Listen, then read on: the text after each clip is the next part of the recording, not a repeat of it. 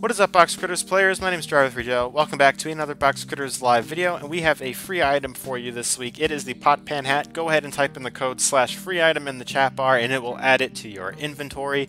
This was added in the game about a week ago, and now it is finally live. So, go ahead and type that in, get your item, wear it proudly. This will not be coming back uh, in a week, so you have a week to get it. Don't miss out on it.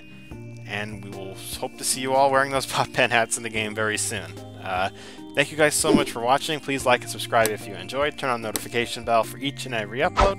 Uh, check us out on our Discord server, our website, and our social media. All Box Critters Live, and the Discord is discord.me slash boxcritters.